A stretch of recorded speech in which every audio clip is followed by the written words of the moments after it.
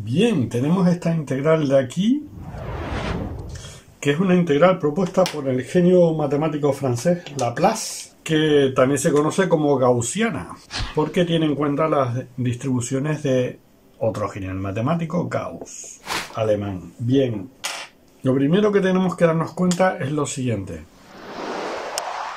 La función que estamos integrando es simétrica respecto al cero, eh, porque da igual que usemos un i positivo o un i negativo porque se eleva al cuadrado y aquí se llega a la unidad, ¿de acuerdo? Entonces este área de aquí, que es lo que evalúa esta integral, va a ser idéntica a este otra área de aquí.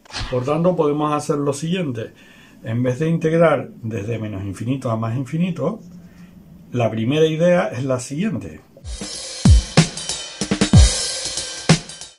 Cambiamos los límites de integración de menos infinito a más infinito, el área va a ser igual a dos veces la integral de 0 hasta infinito. Es decir, voy a integrar lo que el área, voy a calcular el área de la derecha, esta de aquí, y la voy a multiplicar por 2.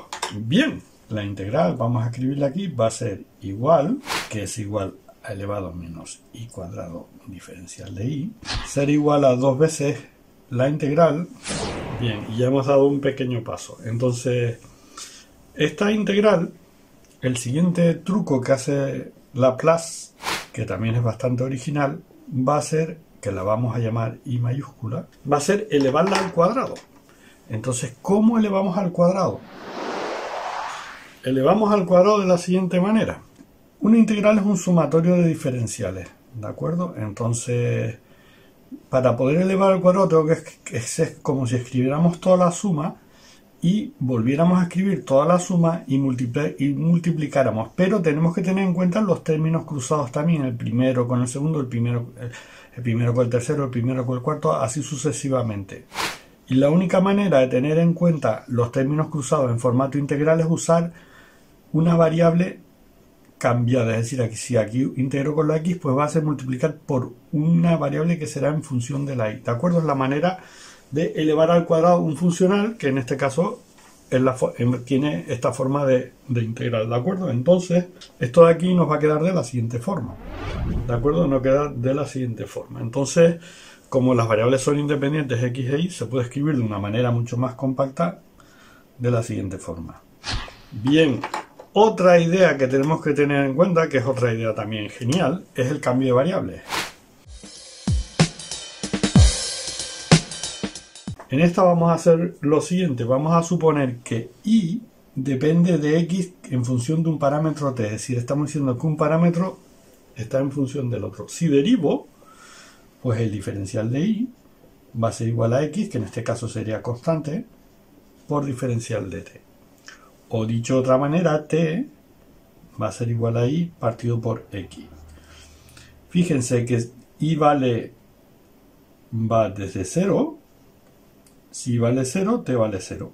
Y va hasta infinito, pues t también, como es proporcional a i, va también hasta infinito, ¿vale? Entonces, si hacemos esto de aquí y tenemos en cuenta el diferencial de i, que lo tengo aquí escrito, y los límites de integración podemos escribir esto de la siguiente forma.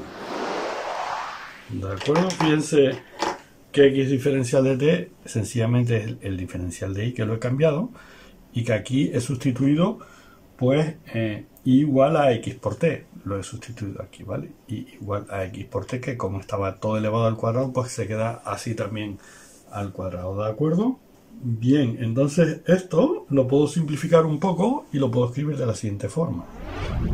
¿De acuerdo? Es la misma integral, pero que lo he escrito de una forma un poco más compacta. Bien, ahora vamos a tener otra idea, que es que vamos a hacer otro cambio de variables donde x lo vamos a reemplazar por el parámetro u.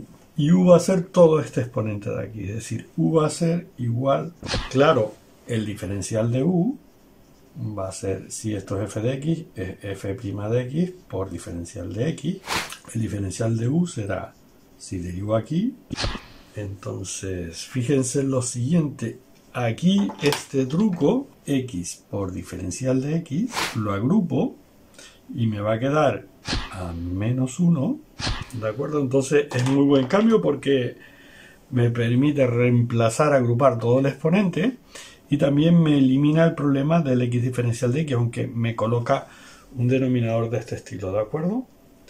Entonces, fíjense que los límites de integración van desde ahora, desde u va a ir desde 0, pero como hay un signo menos, cuando el x tiende a infinito, u va a tender hasta menos infinito, ¿vale? Entonces los límites de integración van a ser de 0 a menos infinito.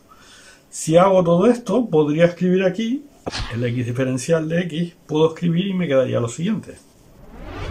¿De acuerdo? Fíjense que hemos quitado el x diferencial de x a costa de este denominador y hemos agrupado todo esto en una función u cambiando el signo, el límite de integración aquí arriba, ¿vale? Entonces, claro, la integral de u la puedo hacer porque yo ya sé que la derivada de x de elevado a x es elevado a x. Entonces, esta de aquí es muy fácil. La puedo ejecutar, integrar con, esto, hacer estos límites de integración y me va a quedar por elevado a u multiplicado. Fíjense que elevado a u a menos infinito es 0 y elevado a 0 es 1. Entonces, esto me va a quedar sencillamente 0 menos 1 usando estos límites de integración. Esta parte de aquí va a quedar 0 menos 1. Entonces esto se me está simplificando todavía un poco más. Se me va el menos con el menos y me quedará. Pero claro, acuérdense de lo siguiente. Yo tengo el arco tangente de x y derivo. Me queda 1 partido por 1 más x cuadrado, que es exactamente lo que tengo aquí dentro. Con lo cual se me vuelve a simplificar todo, otra vez más. Con lo cual me va a quedar esta integral al cuadrado, recordemos, como dos veces, esto de aquí es el arco tangente, que va a tomar valores de 0 a infinito. Bien, el arco tangente de infinito sabemos que es pi medios y el arco tangente de 0 sabemos que es 0. Entonces esto lo podemos escribir como pi medios menos 0, que va a ser exactamente igual a pi. Pero claro, recuerden que esto es el i cuadrado. Entonces, finalmente, llegamos a una solución, que es que esta integral elevo aquí y me sale la raíz cuadrada de pi. Que esta es la solución de Laplace para la integral gaussiana, ¿de acuerdo? Pues muy bien.